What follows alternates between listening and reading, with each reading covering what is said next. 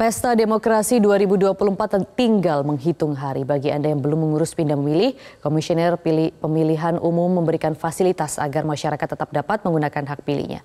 Berikut mekanisme ketentuan dan syarat pindah memilih di pemilu 2024.